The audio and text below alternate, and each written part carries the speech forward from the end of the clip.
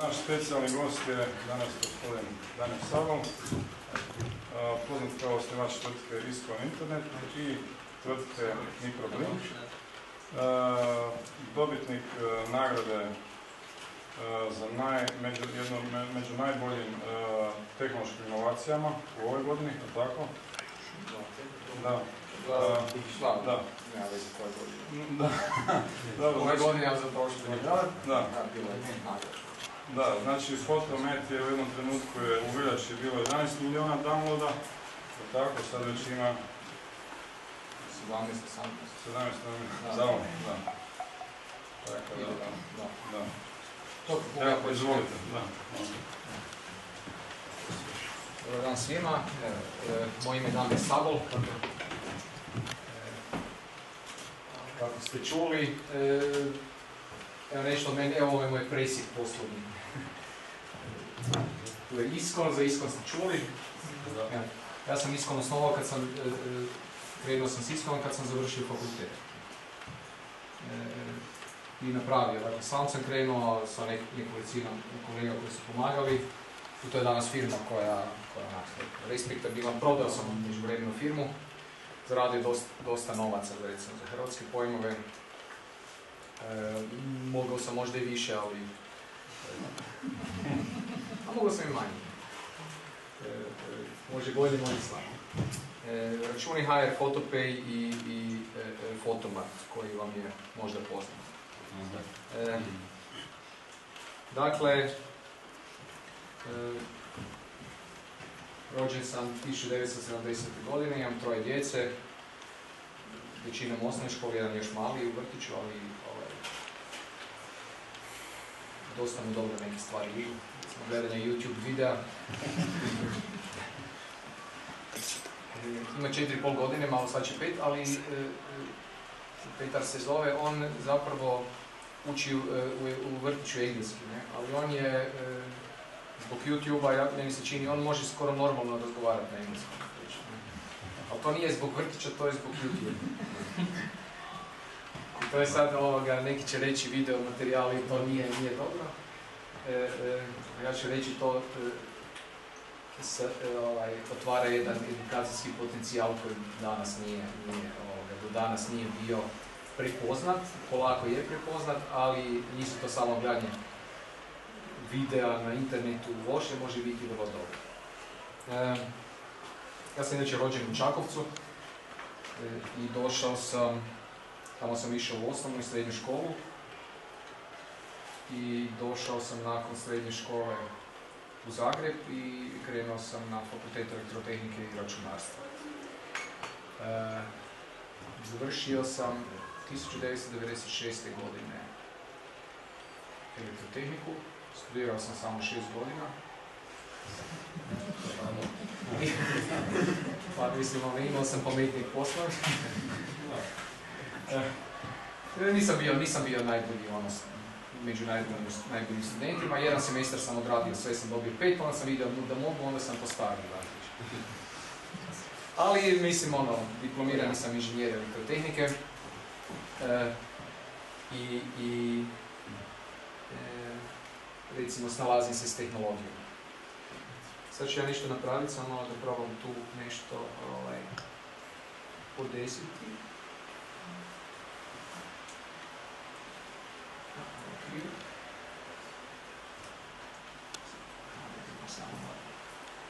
Moji nekakvi e, početci e, e, s računalima i sa informatikom, dakle informatika je ono što čim se bavim. Moji nekakvi početci su bili još bili tamo u osnovnoj školi kad su se počela pojavljivati računala i to je bilo onda, ne znam koliko je to vama poznato danas, ZX Spectrum, Commodore 64 e, i moje prvo računalo trebalo mi je oko godinu i pol da na- nagovorim roditelje da mi stvarno treba računalo. I bila su to dosta teška vremena, moji roditelji ovoga, nisu bili baš ovoga, e, financijski nisu mogli, nisu mogli e,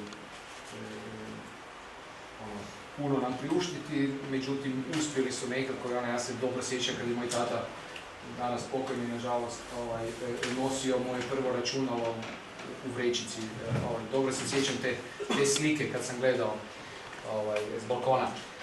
E, on sam to švercalo na vrećici je došlo, nije lijepa kutija i to.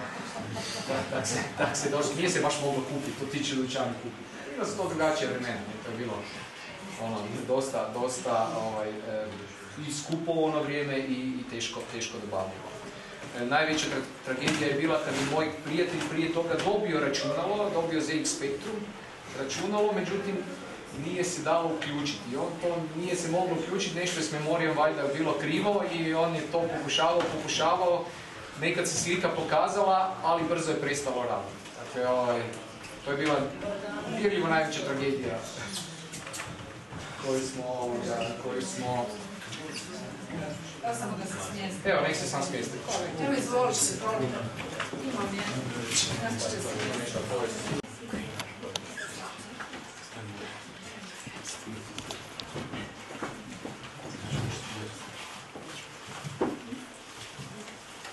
mogu ja, mogu ja dalje. Dakle, moje ime je Damir Sabol, za, za vas koji ste došli i ono što, kako me ljudi znaju, najviše, ponovim, ja sam osnovao ISKOM, to je danas firma koja recimo godišnje uprihoduje dakle, 50 milijuna eura.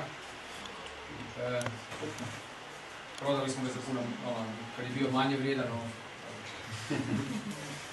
E, imam tu nekoliko ovaj, fotomat je ono što smo zadnje napravili, što vam možda poznato, to se vam mogu i pokazati i reći više o tome.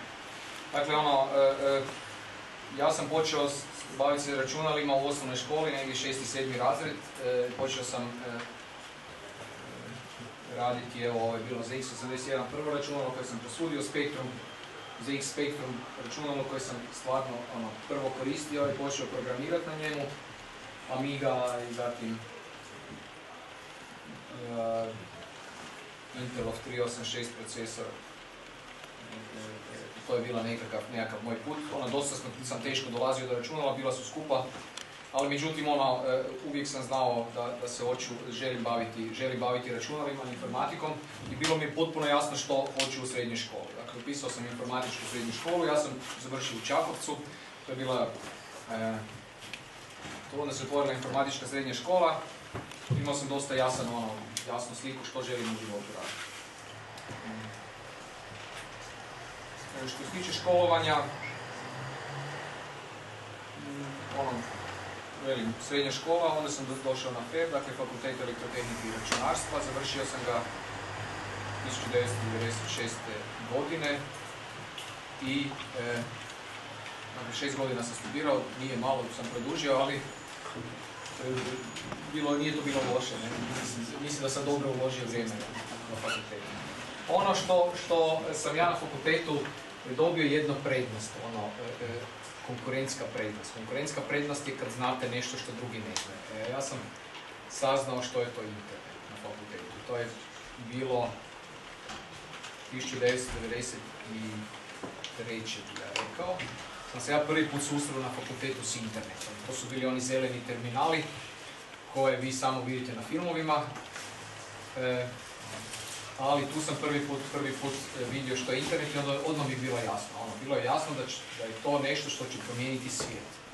I vi kad dođete na fakultetu u dodir s, tako nečim, onda, onda imate prednost. Imate prednost da razumijete što se događa i vidite stvari prije nego ostali. E, nakon fakulteta sam osnovao ISKO, dakle ono, nisam ništa drugo radio, direktno sam ono, neki spletom okolnosti. E, to ne znam da li bio naivnost ili hrabrost. Znate, kad ne razumijete svijet, onda vidite, onda ste hrabri i mislite da možete nešto napraviti, to je nekad dobro. E, e Iskon je, Iskon je dobio e, dosta investicija. Dakle, kad napravite tvrtku, nemate novce, nemate novce za dalji razvoj, onda tražite investicije. E, da bi firma mogla rasti, kupiti opremu i sve, e, trebali smo investirati. E, ja sam, mi smo uspjeli dobiti tijekom vremena od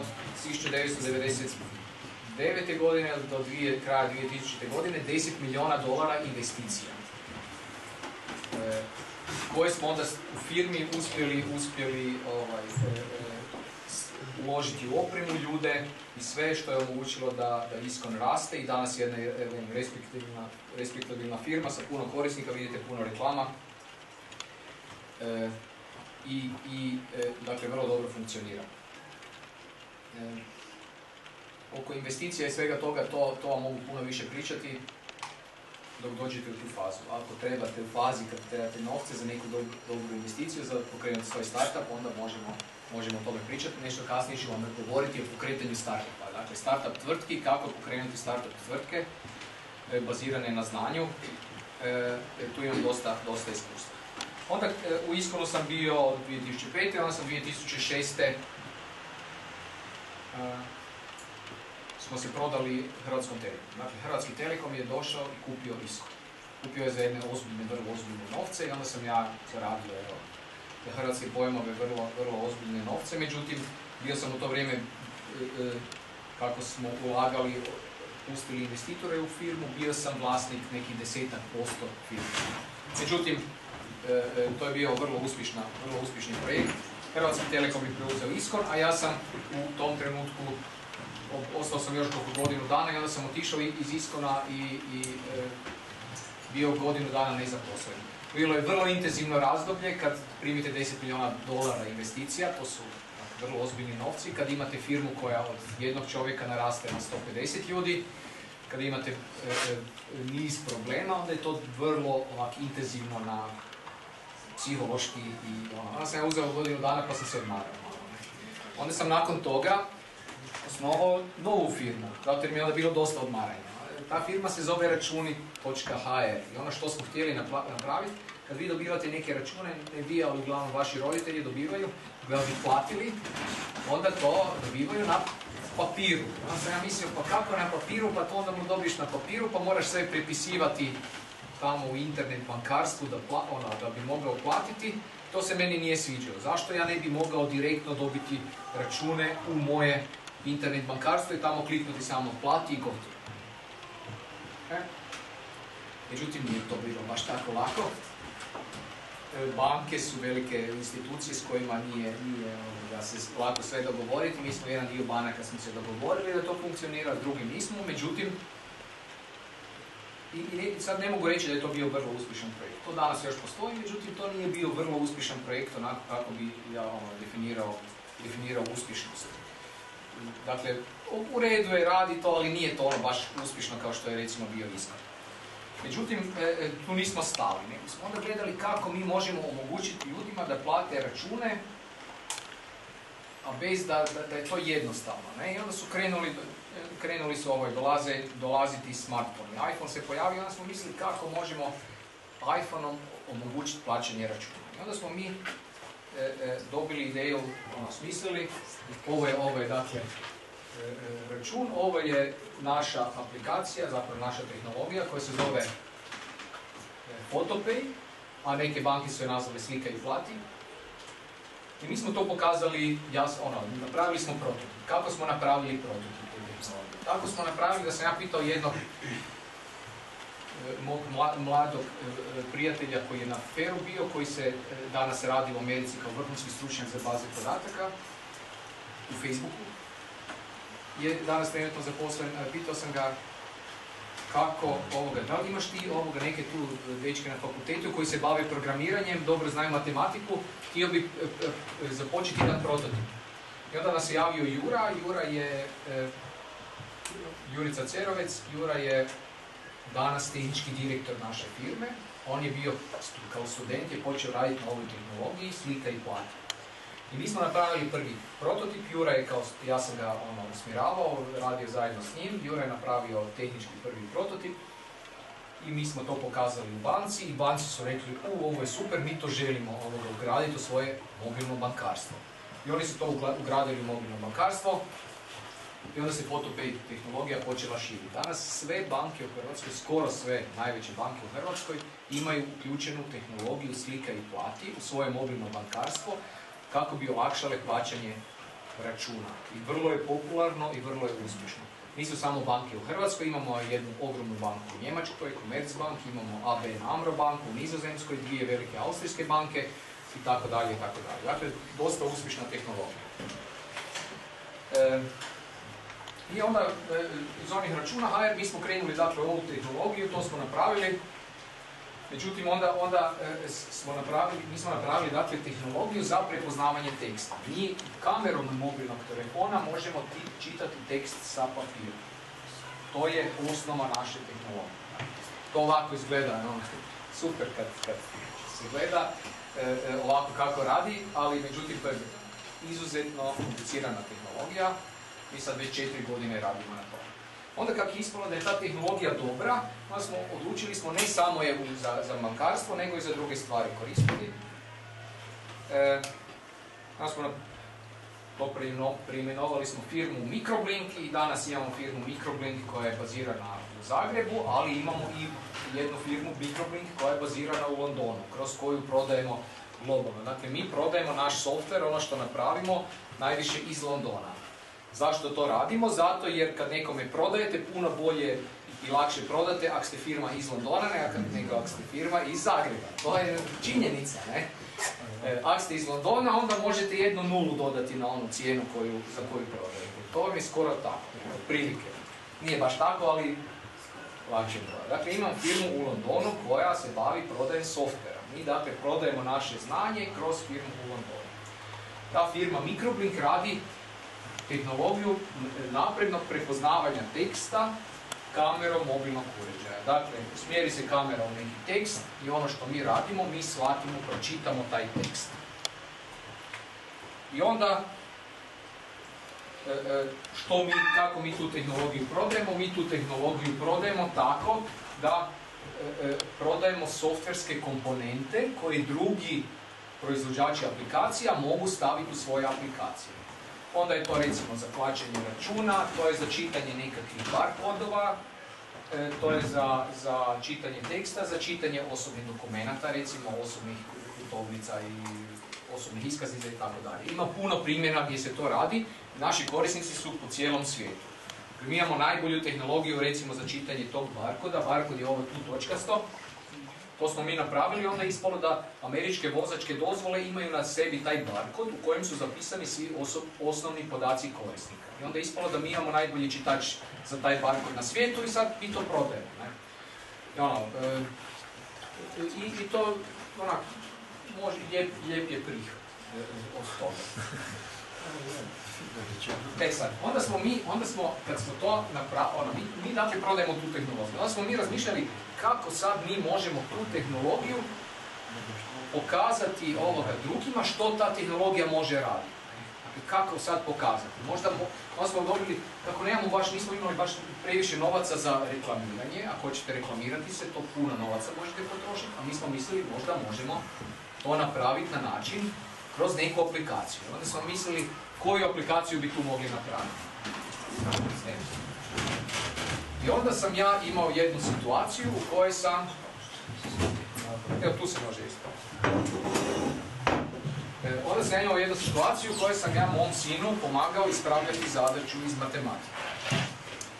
E sad, to je meni bilo užasno dosadno i ja sam ja mislio, pa kako sad, ovaj, pa možda imate, mi možemo našu tehnologiju primijeniti na matematiku. Dakle, možda možemo e, e, koristiti našu tehnologiju da rješavamo matematičke zadatke. I onda sam ja svojim, svojoj ekipi, svojim ovim e, pro- dečkima programerima rekao u firmi, rekao, dečki, idemo to napraviti. I onda su rekli, a ne, to je teško, kako će to, ovo, ono, ne. Ali mi smo svejedno to napravili. Jednu aplikaciju koja se zove Fotomat.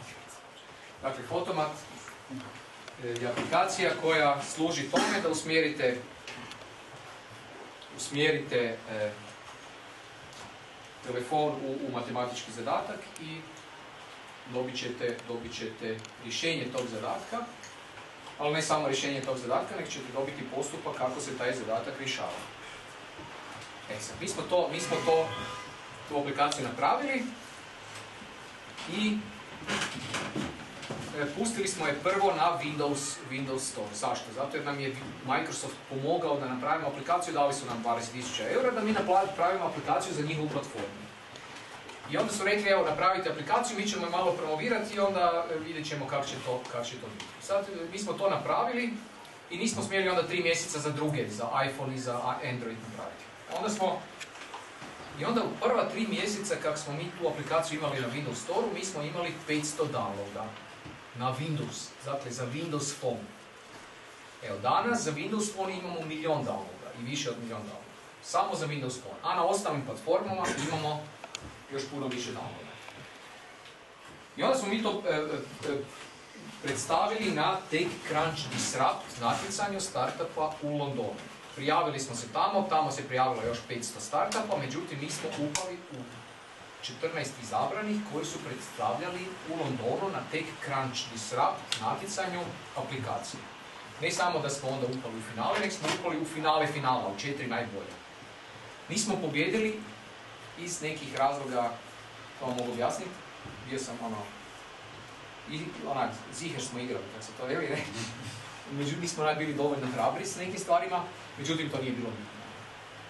Bitno bilo da je fotomat onda eksplodirao. Dakle, imali smo u tri mjeseca 500 downloada, 500 preuzimanja, a onda smo sljedeći nekoliko, sljedeće dva tjedna imali 5 milijuna downloada. Dakle, desilo se to da je da su u svijetu prepoznali fotomat kao vrlo vrlo zanimljivu atrakciju. Evo ovo tu je slika, malo se vidi, tu Jura, naš tehnički direktor, dakle predstavlja na te krašti srabu. Nam se desilo to, velika, velika eksplozija, veliki svjetski mediji su pisali o fotomatu i to je, to je generiralo veliku pažnju i fotomat je napravio ovo. Dakle, bili smo u to vrijeme broj jedan aplikacija na App Store. Dakle, za iOS, jači od Facebooka i tako E, onda smo mi mislili, sad je to ono, sad šta će biti, ovo ono.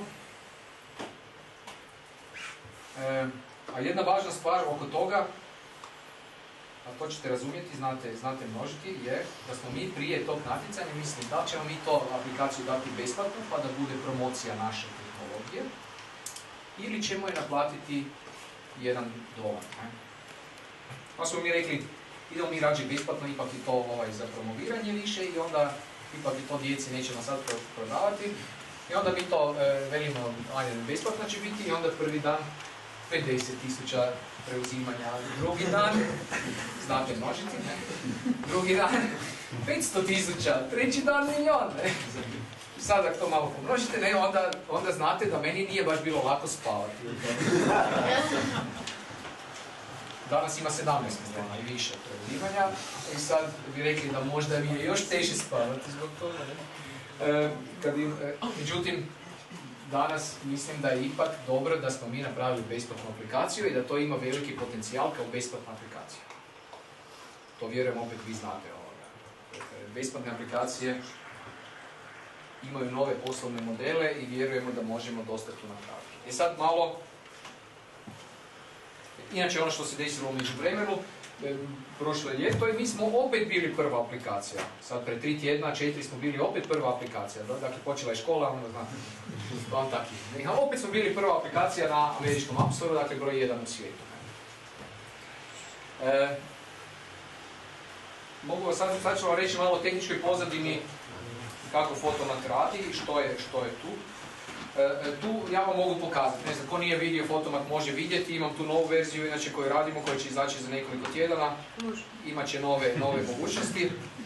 Ali e, kako radi fotomat? Ne, ono. Dakle, tu su nekoliko bitnih stvari koje morate napraviti da bi aplikacija bila dobra i da bi je puno korisnija koristila. Prva stvar je prepoznavanje teksta. Dakle, mi imamo tehnologiju za prepoznavanje teksta na koje radimo četiri godine. Dakle, mi četiri godine tehnički razvijamo tu tehnologiju, ima tamo nekoliko inženjera koji rade, koji to rade.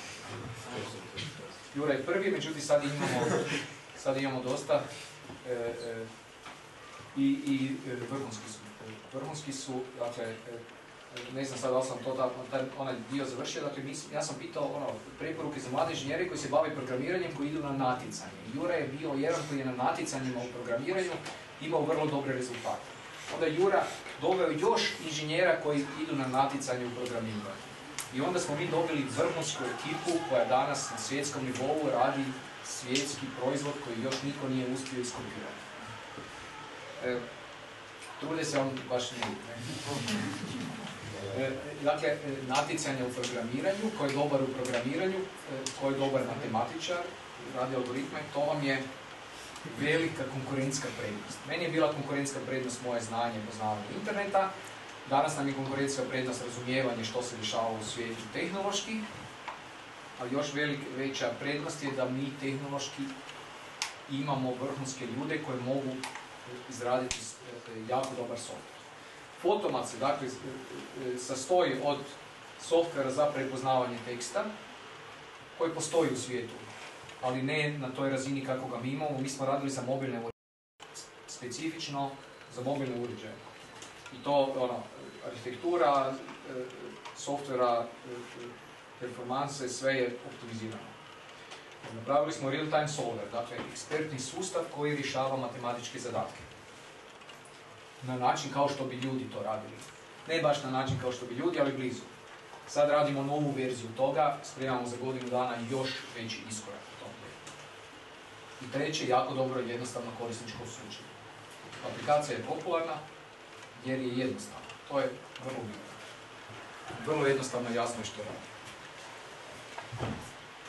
OCR, to je Optical Character Recognition, dakle on, on se koristi za prepoznavanje teksta. Kako to radi? To radi tako da se uzima slika sa kamere, softverski obradi se, predobradi se na, na procesoru, obrada ide i na grafičkom procesoru, onda tu imate detekciju, imate segmentaciju, imate klasifikaciju karaktera, imate post-processing, imate eks- ekstrakciju onda matematičkih izraza i toga, to je, to je dosta dosta ovoga komplicirano. Ako neko želi znati više, može doći do nas i možemo mu te neke stvari pokazati. Preporučujemo se za jednu To, to, da, svakako. A gdje se nalazi središte? E, U Hrvatskoj. u Zagrebu, Strojarska 20 je adresa na 14. katu, ako hoćete možete se meni javiti, najaviti i onda se možemo organizirati dolazite pogledati. Sad, a gdje se, gdje se nalazi, sad dok se, mi imamo, evo, u jednom, samo malo, ovo se sad ne vidi.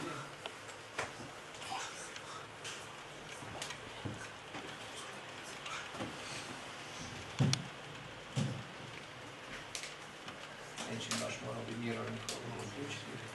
Evo ovo je naš pogled, evo, da iz ureda. To je naš novi ured, mi smo zaslužili preseliti se u novi ured, jednu lijepu novu zgradu, onaj crni visoki nego da je iza autobusnog kolodvora. Ne vidi se baš sve, ali lijepo se pogleda. Uglavnom, zaslužili smo lijepi poslovni prostor. To se mora zaslužiti.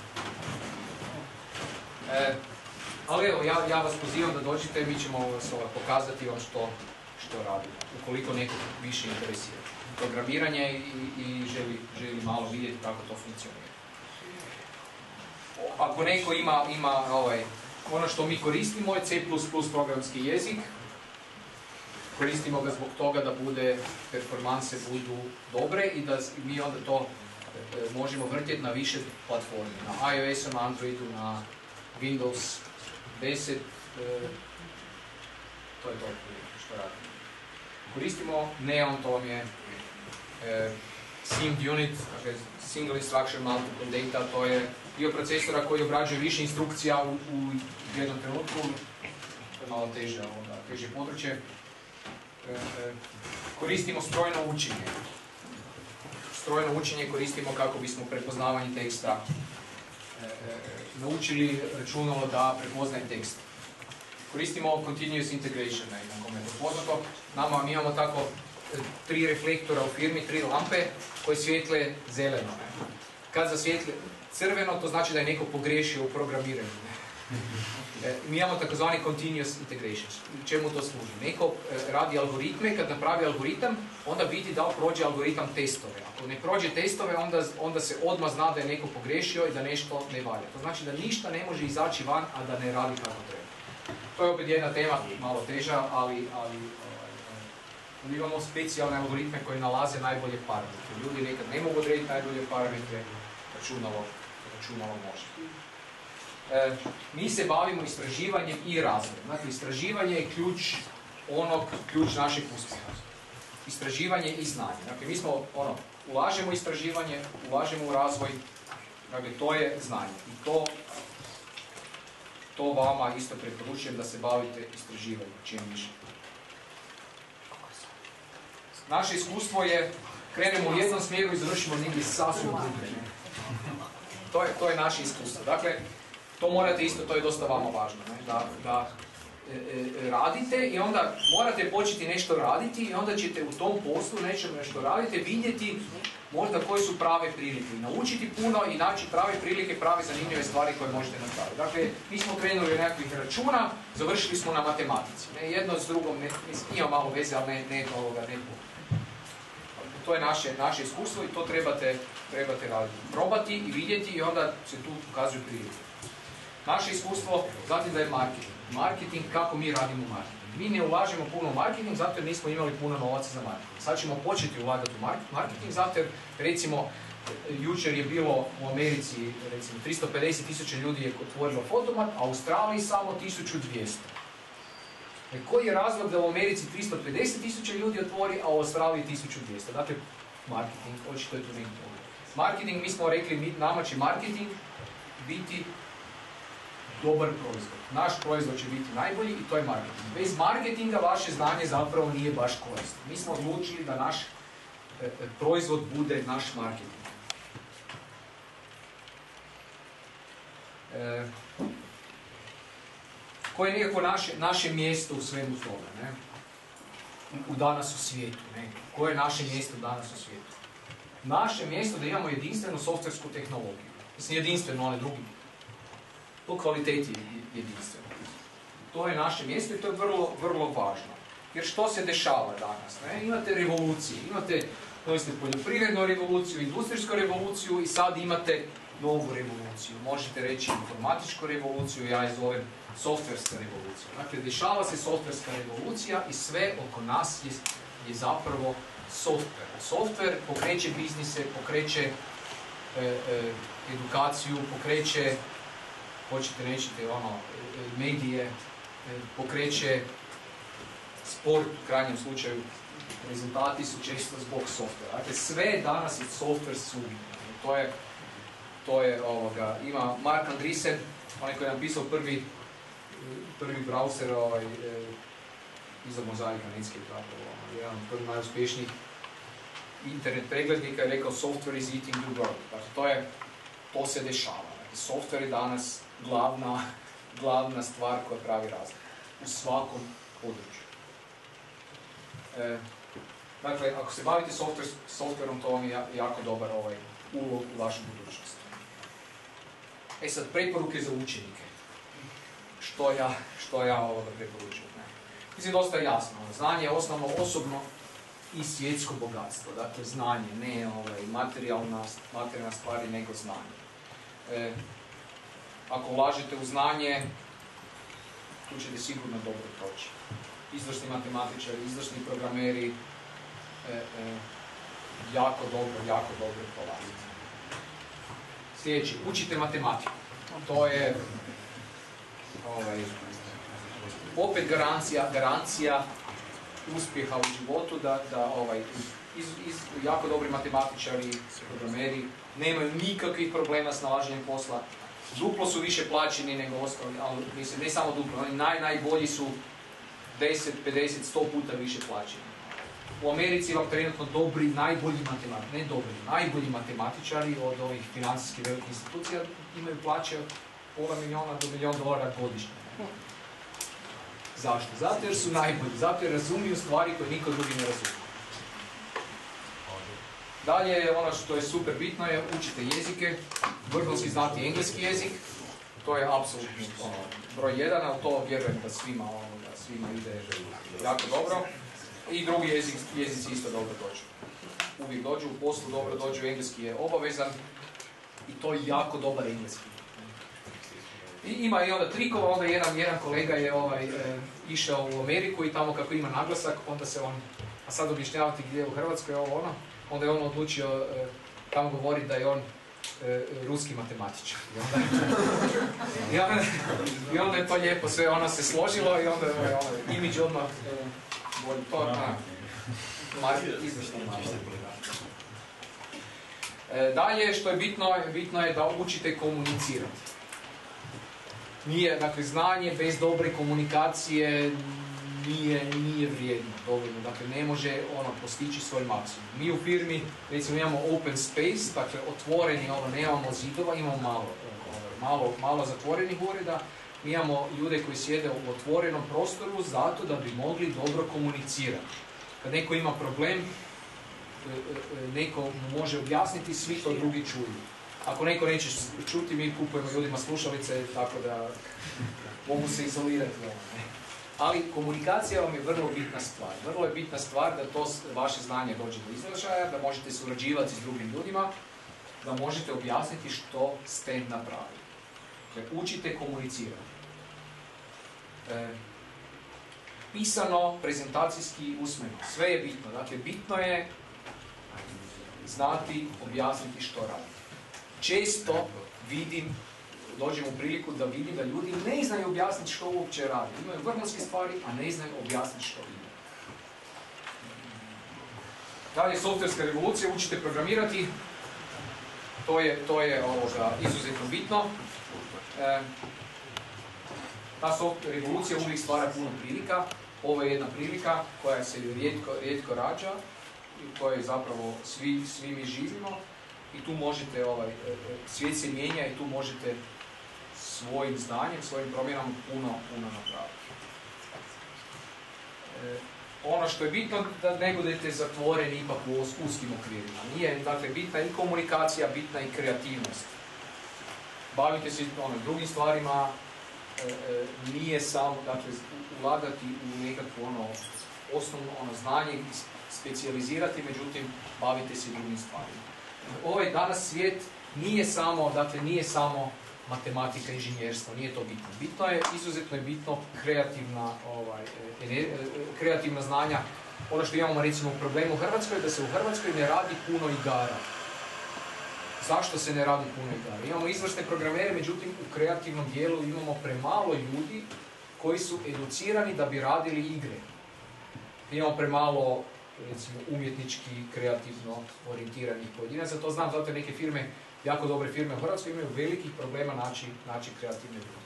Dakle, može biti, ne morate biti nužno, nužno jako dobri matematičari i programeri, ako ste ona, vrlo dobro, ona, jaki kreativci, isto jako dobro su, su potrebni u ovom svijetu. Ono što je najpotrebnije je zapravo kombinacija, da se to lijepo iskombinira.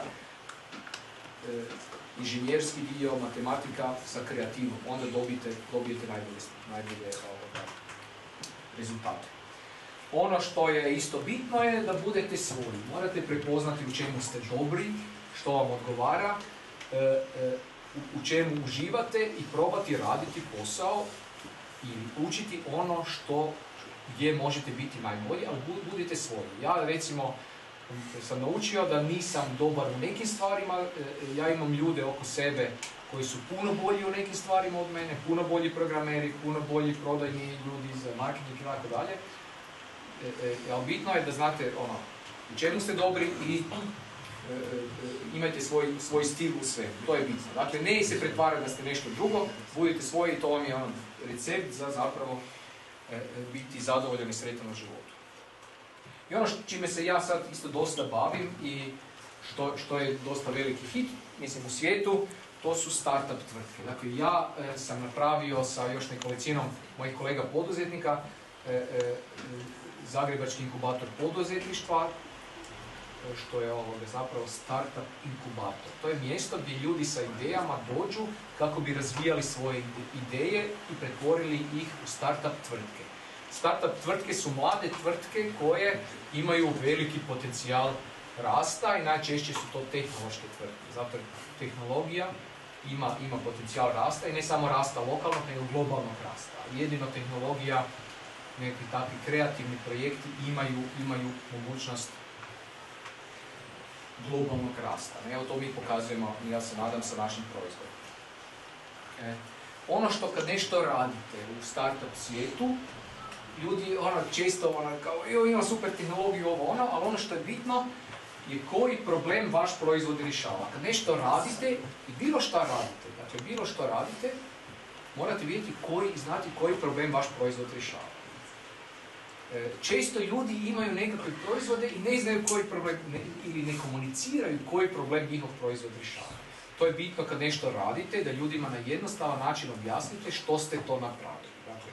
Ja sam pra- napravio nešto što rješava taj taj problem. To vam je onak dosta jasno, ali e, e, e, ono, iznenadili bi se koliko ljudi često ne znaju objasniti što njihov proizvod radi i koji problem rješava.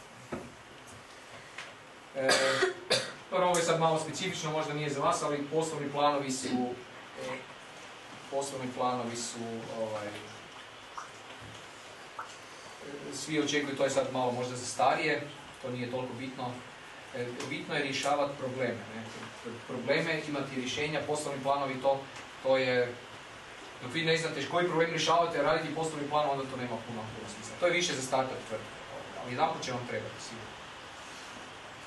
Ono što, što treba biti kad radite nekakve tvrtke ili projekte. Ne? Vi morate vidjeti kad projekt ima smisla, kad nema smisla. Nekad nema smisla ono biti tvrdoglav, to se zove razlika između upornosti i tvrdoglavosti.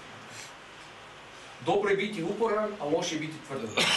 I sad trebate naći tu nekakvu razliku. Dakle, kad nešto radite, onda vidite da li ima smisla, da li u tome uživate ili ne uživate, da li ima to neki svoj rezultat. Ako je dobro, onda trebate biti uporni. U ovome što ja radim treba biti uporan. Mi godinama radimo, godinama radimo uporno i imamo rezultate. Sad da nemamo rezultate, onda bi značilo da smo tvrdoglavi. Međutim, imamo. E, jer ovo je sad nije. Evo, upornost ili tvrdoglavost, to je, to je ovoga. S ovom tomom uvijek dobro dođe i kad s, nekim, ne znam, s profesorima i to, morate vidjeti kad ste uporni, kad ste tvrdoglavi. To je teško prepoznati. Ja, ljudi dugo to neće. I ono što, što vam ja preporučam je da budete dio softverske revolucije. Dakle, da nađete svoje mjesto u toj softverskoj revoluciji koja se dešava, da, da e, učite bez obzira da li je to dio programiranja, da li je to matematika, da li je to neki drugi, drugi e, vid inženjerstva, software je uvijek to bitan, ili su to kreativni, kreativna područja u kojoj možete opet dati svoj, svoj maksimum, a ja vam preporučam da u tom području e, radite i, i e, sigurno ćete dobro, dobro proći u životu. Evo, i to je bilo sve od mene, hvala na pažnji. To je bio moj dio koji sam vam ja htio ispričati. A sad možemo, ovaj, ako vas interesira e, više, mogu vam pokazati kako fotomat radi. I onda vi mene možete pitati sve što vas interesira. I, i- i ona pitanja, ovaj, i ako, vas, ako hoćete predložiti kako fotomat poboljšati, onda mi morate reći i onda ćemo mi to napraviti. Sad nemam, nažalost, ovaj...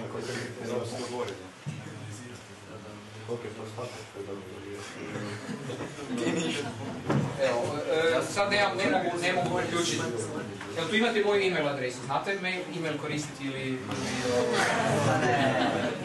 ili, je sve na e, Što koristite od društvenih mreža?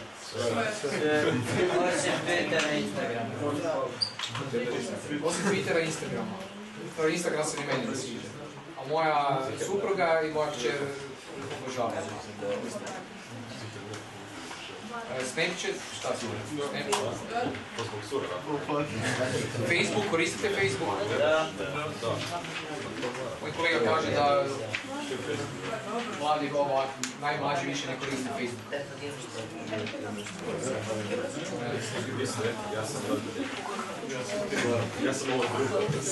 Evo, možda vam htjela samo malo sad ću probati još jednu stvar, pokazati vam na najnoviji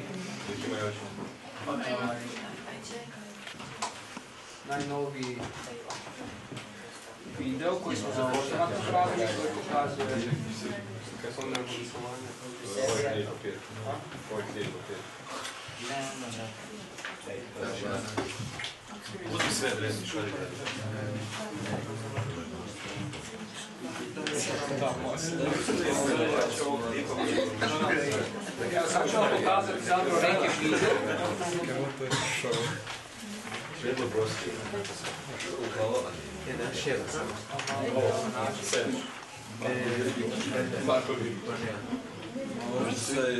Evo, baš može. Ajde,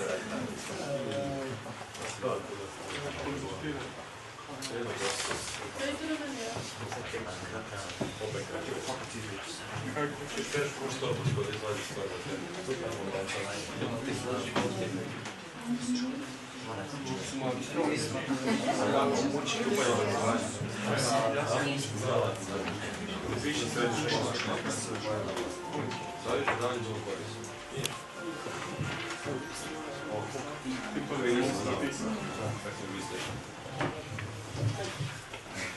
videe.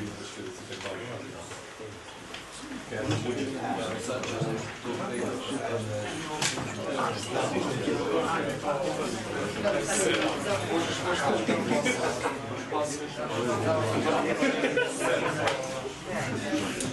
je, ovo je novi video kako fotomat ovoga funkcionira.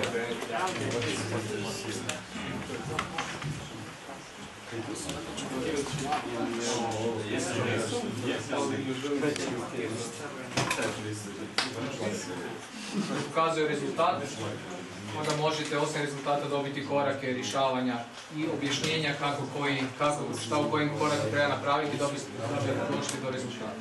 To je ova verzija koju možemo skinuti ili koja će tek izaći? Pa i ova verzija pokazuje ali ono nova je, nova je bolja.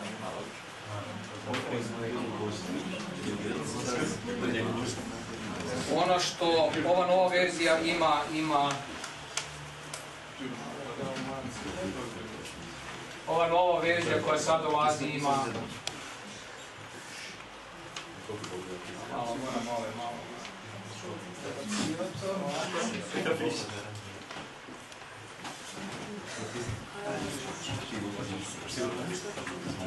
Nova verzija osim snimanja zadataka ima i dio da se mogu editirati zadatke, dakle možete upisivati zadatke i u realnom vremenu odmah dobiti rezultat. Dakle nešto mijenjate u zadatku, vidite koji, rezultat, rezultat se pojavljuje. To je nova verzija, imamo to je vjerujem da bi moglo biti dosta korisno. E, a ono što sam pričao prije je Photopay, kako se plaćaju računi korištenjem naše tehnologije, ovo isto vrlo zanimljivo. Ja sad to... Vidite, ovo smo napravili za Austriju. U Austriji, u bankama, ako hoćete dobiti ovakav račun i sad umjesto da unesete sve ove podatke za plaćanje, napravite ovo. Dakle, ovako naša tehnologija funkcionira. Hoćete platiti račun, to napravite i to je to. Skinu- skinuti su svi podaci i možete jednostavno platiti. Dakle, to radimo. Prepoznavanje teksta vrlo brzo, brže nego ga vi možete pre- prepisati. Dakle, umjesto minute i pol upisivanja, mi za 3 sekunde skinemo sve podatke. To je vrlo, vrlo korisno. Kad uspijete ljudima uštedjeti vrijeme i olakšati dosadne e, e, aktivnosti, onda ste uspjeli ono, poslovno, možete vrlo dobar, do- dobar posao. Dakle, to je, to je, to je ovaj, kako to funkcionira. Sad ja vidim da da sam dobio kaznu za parkiranje. Imate aplikaciju za to? Dobio sam, da. Ne,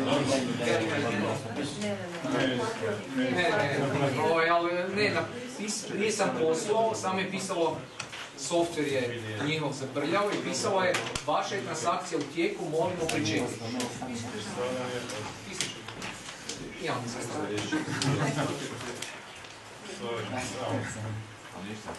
Dobro, ovaj, evo sad sam ja ispričao vama što, što, smo mi, što mi radimo i kako sam ja ovaj, e, e, dakle što, što smo sve uspjeli napraviti, ne? Sad, ono, imate vi kakva pitanja, što vas interesira? Znači, hoćete, jel namjeravate unaprijediti fotomet, e, znači da prepoznava... Pisanje rukom, nećemo to. Ne. Nećemo to napraviti, zašto? Zato jer e, ono, razmišljali smo zapravo ne postoji pouzdan način da to kvalitetno jako napravimo na telefonu. E, neke, neke stvari možemo prepoznavati rukom pisane, ali ako se neko malo ružnije piše, gotovo, ne, nema, nema šanse. E, tako da, ali može biti e, jako slično, znači računalo kao e, tekst. mislim, ako neko lijepo napiše, prepoznat ćemo. Aha. Ako ne piše lijepo, onda nećemo prepoznati. Ali zadatak se može pisati. U, može, zato smo, imamo editor, dakle editor služi tome da se lako i jednostavno upiše, upiše dodatak. Možete sve one na telefonu pisati, ono, četat, onda možete zadatak brzo napisati. Mi smo tako napravili editor da se to može, može vjerujemo, lako napraviti. Tako da je, to, je, to, je, to, su, to su recimo te odluke, da li nešto napraviti ili ne napraviti. Pa pitaju nas da li, ono, probaju ljudi na ploči, slikat ploču, da li ćemo prepoznat, onda ispadne da, da ne prepoznamo i onda... Još Pitanje dalje? Uh, sam sam još htio pitat, e, jel zarađujete od fotometa? Za sad nismo zarađivali ništa, dakle samo su veliki troškovi, međutim sad ćemo krenuti, nova verzija će imati oglas. Tako da, tak da evo, krenut ćemo i, i e, e, htjeli smo zadržati dalje besplatnu aplikaciju, ali ćemo zapravo staviti utra oglase da se, da se može, ono, ko hoće vidjeti novu verziju može vidjeti, A koliko bi se otprilike to zarađivalo sa ne mogu točno reći, imam neku svoju procjenu, ali Pa ne znam, od 20.000 dolara mjesečno do više. Nekoliko nula više. Više. Ali nije, nije, dakle, nije cilj, nije nam cilj maksimizirati zaradu sad, u ovom trenutku. Dakle, ono, tu treba biti strpljiv. Kad neke projekte takve radite, trebate biti strpljivi i nama je cilj puno veći od kratkih. Dakle, ona, kako se to veli, to nije sprint, nego je to maraton. E, Dakle, ono, dugoročna stvar koju, koju možete pametnije napraviti ako imate možda neku drugu strategiju. Možda sad manje zarađujemo, ali ja vjerujem da ćemo u budućnosti više zarađivati. Zbog toga jer je sad aplikacija više.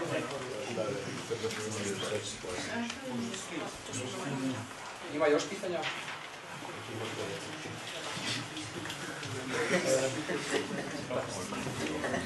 Ako nemate pitanja, e? Evo sad vam mogu pokazati, onda može koga zanima, može doći, može doći tu ovoga vidjeti kako, kako foto funkcionira. Ako imate... Iskoj, jer kad niste imali toliko profita pa ste ga išli prodati ili vam se jednostavno sviđa velika cijena pa... Pa to je, mislim, uz- e, naši su investitori, zapravo mi smo pustili investitore i onda su investitori odlučili, oni su imali većinu kompanije, da žele prodati. Kad firma raste, onda treba kapital za daljnji rast. Onda imate mogućnost ili recimo izaći na burzu, napraviti IPO, to je inicijalna javna ponuda, prodati svoje dionice i dobiti kapital za daljnji rast. Nismo razmišljali o tome, ali dobili smo dobru ponudu koju su naši investitori prihvatili mi smo prodali firmu Hrvatskom Telekomu. To je normalna poslovna stvar. E, ja sam meni onda bilo ok to napraviti, bio sam dosta zasićen već time. I normalna je poslovna stvar firmu, firmu prodati. U jednom trenutku kad to odluči. Naravno, dobro. Mislim, Iskon je prodan za oko 100 milijuna kuna. Dakle, firma koju sam napravio sa, ne znam, onak, nakon što sam izašao iz fakulteta, nakon 8 godina je prodana za 100 milijuna kuna. Ja sam bio vlasnik u to vrijeme 10% firme, onda možete izračunati koliko, koliko sam ja ovoga, dobio iz toga, ali to je dakle, bio vrlo intenzivnih 8 godina rada. A kad dobijete ponudu, onda nekad, nekad je teško odlučiti, nekad nije.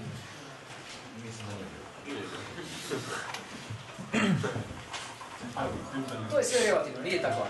Pa, nije, nije baš, tako. Znači, kad, kad krenete s firmom, znači sa startupom i dobro, neki ljudi imaju takav mentalitet, hoće ostati vlasnici toga, ne žele dati udio i to. To je jedna stvar što mislite o tome, a drugo, kad već e, imate investitore, znači kad treba, treba novca za daljnji razvoj, e, kako birate koga pustiti u firmu, znači što vam je bitno kod investitora? Dakle, e, e, firme nekad mogu rasti same, mi smo ovo sve što smo napravili smo sami. Dakle, dobro, ja jesam imao novce, pa sam investirao e, početno, dosta je to bilo novaca, međutim nije to neka ogromna količina. Firme da bi rasle, da bi uopće mogli platiti zaposlenike, trebaju ili prodavati svoje proizvode, mi smo to napravili, našli smo kupce, imamo dobre kupce po cijelom svijetu, prodajemo i profitabilni imamo dovoljno novaca za ulaganje u. Sad ćemo valjda imati još više. Ono zbog monetizacije. Monetizacija je to kad stavite oglase ili prodajete nešto u aplikaciji. Međutim, mi bi htjeli još korak dalje napraviti, sad razmatramo da li da nađemo investitore koji će nam pomoći da još više rastemo, da to bude još ono bolja i veća stvar. E, često firme zahtijevaju kapital da bi mogle rasti. Dakle, ne možete vi e, ljudima ono, godinama reći evo radi besplatno. Morate platiti ljude, morate kupiti opremu, morate imati poslovni prostor, morate uložiti u marketing i tako dalje. Da bi to napravili, onda morate e, e, tražiti investitore.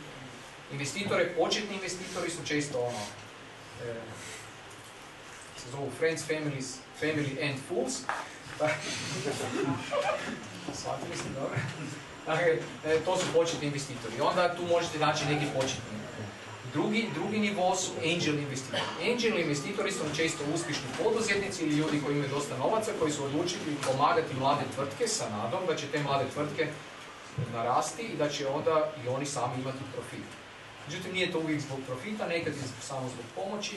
Ja sam isto, imam jednu takvu grupaciju smo osnovali u Hrvatskoj. To je način kako se dobije prva sredstva. Ako napravite dobre rezultate s tim sredstvima, onda postoje fondovi, to su venture capital fondovi, koji e, e, investiraju u takve projekte. Investicije venture capital fondova su recimo pola milijuna dolara, e, jednog, dva, tri, četiri, deset, a, u nekim fazama se po 100, 200, 300 milijuna dolara investira u vrlo uspješne globalne tvrtke. To su mlade tvrtke koje nakon 5-6 godina dobivaju po par sto milijuna dolara. Uber, tvrtka koja se bavi zapravo prijevozom, konkurira taksistima, je danas vrijedna, nakon ne znam koliko, 6-7 godina postojanja, danas je vrijedna oko 40 milijardi dolara. I u nju se sad, ono, nove runde financiranja su milijardu i pol, milijardu i sedamsto i tako dalje. Dakle, to postoji razrađen sustav kako vi, ako imate uspješne projekte, možete naći financiranje koje će vas dovesti do toga da su to tvrtke vrijedne izuzetno velike količine novaca. To baš ono, gotovo ne pojmi. Međutim, za to trebate biti vrlo, vrlo, dakle to nije ono jednostavna stvar, to je vrlo, vrlo teška stvar. Mi sad gledamo da li išli s investitorima ili možemo sami dalje. Isto kako uzmete investitore, to vas košta, ne? Investitori nose svoje obaveze, probleme i tako dalje. Međutim, dobri projekti, dobra, dobre ideje, e, ideje, inače ideje vam nisu toliko, ono, svi imaju super ideje, ne? lako je dobiti ideju, E, teško je realizirati ideju, dakle ne, ono, samo dobra ideja vam neće puno previše značiti. Realizirana ideja, dakle neki prototip, nešto napravljeno, nešto što možete pokazati, to znači, to puno znači. Tako da pokušajte kad nekome ono, kad nešto radite, pokušajte napraviti nešto što je vidljivo, opipljivo, a ne samo što ono, postoji u vašoj vaše mašti. Svakako to preporučujem. Mi sve što prodajemo, mi prodajemo zato jer ljudima pokažemo. Kažemo, evo, probajte, vidite da li vam se sviđa ili ne. Oni kažu, sviđa nam se, radi, super, evo, koliko to košta. Sve što smo do sad pro- prodali, smo prodali tako. Ili snimimo video, vidi se kako radi, onda oni to isprobaju aplikacije, do, dopadne im se kako radi, onda probaju software, software development kit, super im je, onda kupe i to je to. Dakle, prototip pokazati kako to radi.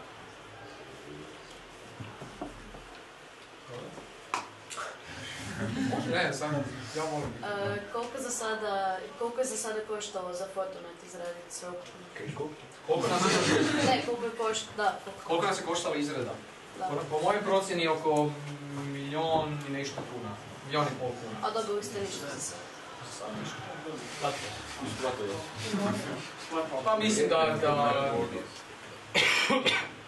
ako nekome pomogne fotomat, ovaj, Mi smo vam zahvalni. Inače, evo, fotomat danas koristi, e, e, danas je oko 350 tisuća ljudi, jučer bi 350 tisuća ljudi otvorilo fotomat. Najviše imamo u Americi. Prva Amerika sa 60%, druga je zapravo Rusija sa Rusija sa jedno 8%, onda je tu Brazil, e, Njemačka, Velika Britanija, dosta, dosta, dosta su registrirani.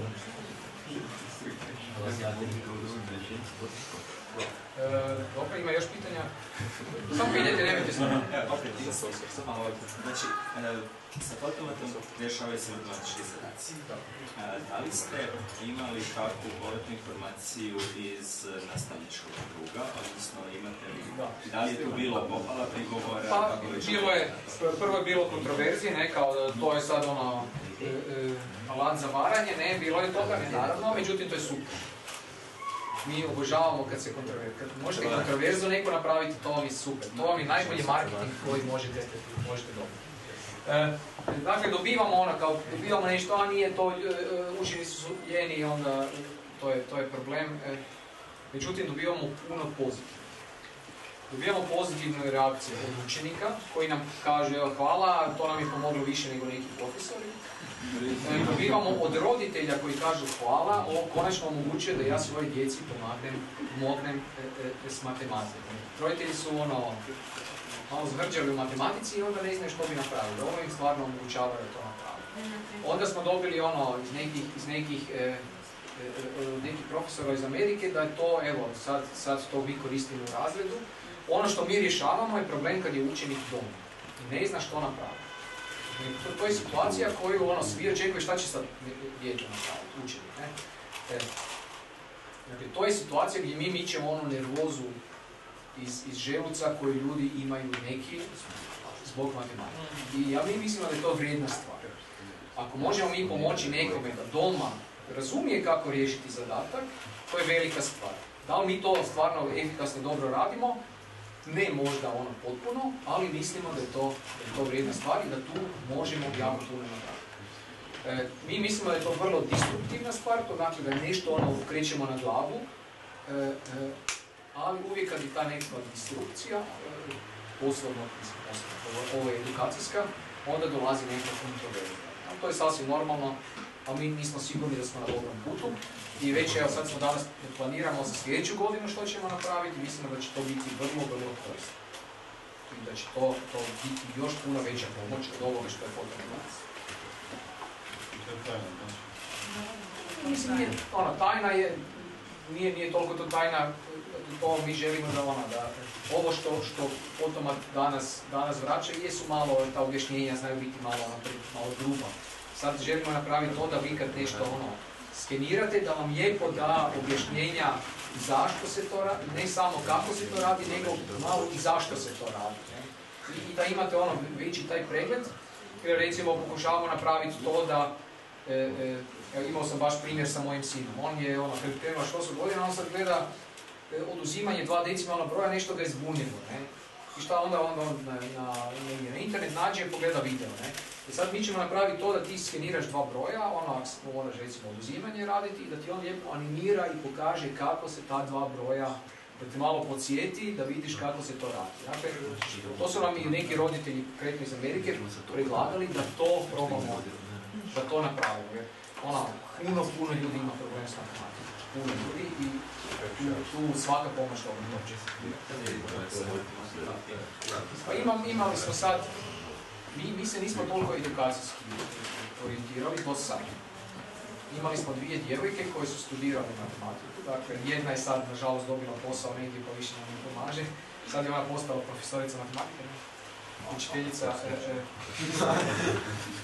i, ali, ali ono što je, mislim, mi smo, mi su, naši svi inženjeri su jako matematičari, međutim to nije dobro. Mi sad moramo početi edukacijski dio ulagati, u tome nismo mi stručnjaci, mi smo stručnjaci za tehnologiju, ne za, za edukaciju, ali sad polako idemo u smjeru da edukacijske elemente pojačamo. Sad čak se dogovaramo u Americi da se sa nekoliko stručnjaka matematičkih koji su u tom e, edukacijskim tehnologijama, da se s njima povežemo i da oni malo pomognu kako to staviti na veću razinu, na višu razinu.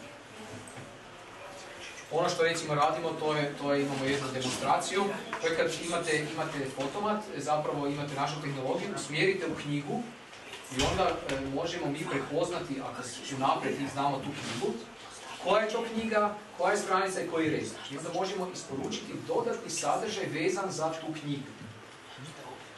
Neki video ili dodatni e, e, e, informacije, a zapravo može služiti tome da uspješno riješimo recimo i zadatke riječima koje prepoznamo. I možemo rješenje unutra staviti, negdje neko drugi može riješiti. A zapravo služi tome da se dodatni sadržaj, dodatna objašnjenja isporu- isporuče vezano za neku temu. Dakle, tu ima puno, puno potencijala i puno stvari se može napraviti. Ima dalje pitanja? Nemaš više? Ali kako se zoveš? Fran. Dobro je pitati. Pitajte ono, iskoristite priliku, uvijek morate pitati. Ne možete samo gledati i ne pitati. To mi je ono jako važno. Ne znate, razlika između recimo Hrvatske i Amerike. U Americi dođete negdje, ono, svi vas pitaju, ono, svi, svi pitaju. Važno je pitati. Ne? Pita, pitajte zato jer onda ćete više znati. Nemojte se bojati. Onda u školi zna, znaš kaj se dešava, ne? Onda sad, a, opet on nešto pita, ne?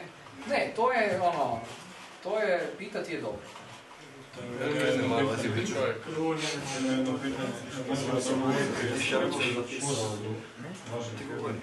Pa možemo, možemo dogovoriti, vidjet ćemo, mi moramo nešto onda, ono, moramo se pripremiti, to, to je, to je ovo, dosta važno, da se mi pripremimo i da onda, ono, mislim, mi nemamo, to je teško, teško je, ovaj, e, e, nije to, to su, ono, kolege sjede za računalima i programiraju, ne, ono, to nemaš baš puno, recimo kod Rimca se može vidjeti, ono, stvarno se nešto radi, kod nas se mogu probati, a posebno ako imate dobre zanimljive projekte. Ja imam do- dosta iskustva i, i kod tehnoloških projekata mogu, mogu sigurno pomoći. Evo. Dobro, to je to. Hvala i vidimo se. E,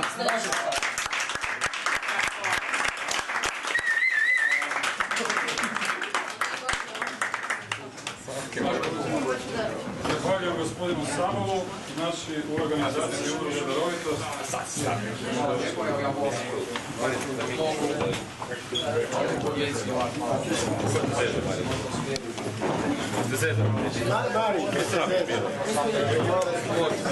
Mari,